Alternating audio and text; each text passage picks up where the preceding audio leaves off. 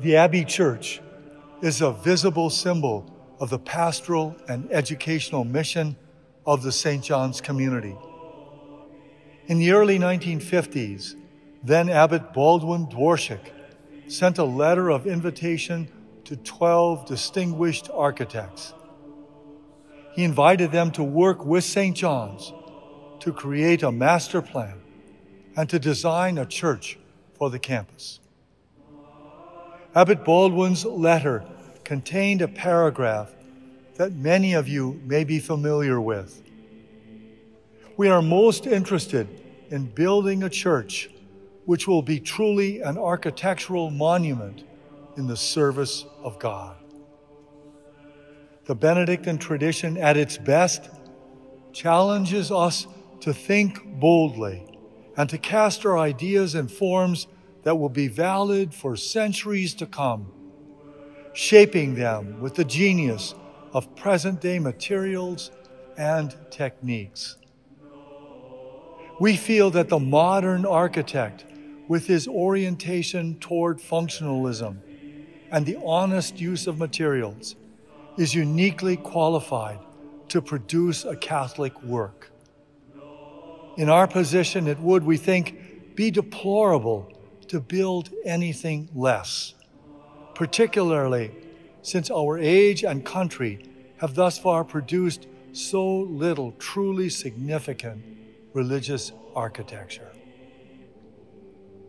The monastery by itself surely did not need a church on the scale of the Breuer building.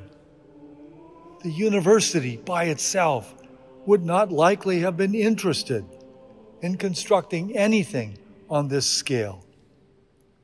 Indeed, the Breuer Church truly results from a united vision and mission of the Abbey and University. For the St. John's community, the church has been a symbol of risk taking and boldness of vision, of confidence and foresight. The church embodies a vision of the human and religious. With its visual silence, it orients us toward the contemplative, toward simplicity.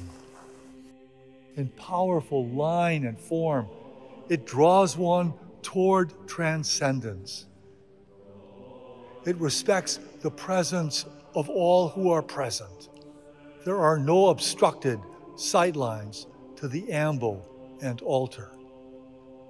If you revel in geometric forms, they are everywhere.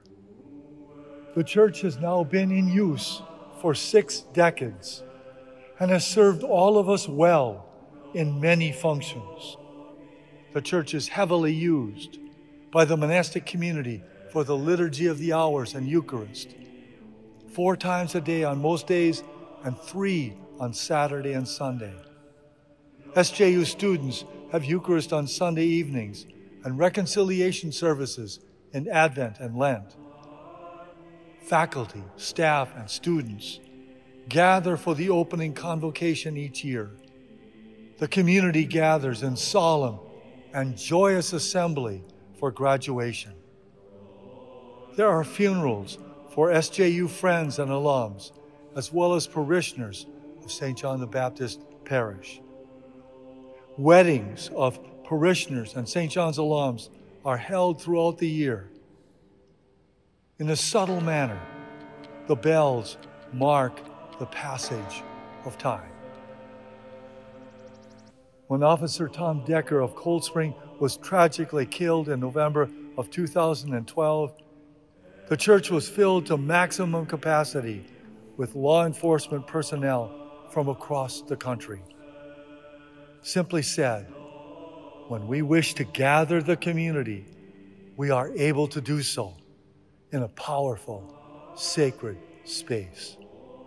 It is now time to revitalize the Abbey and University Church.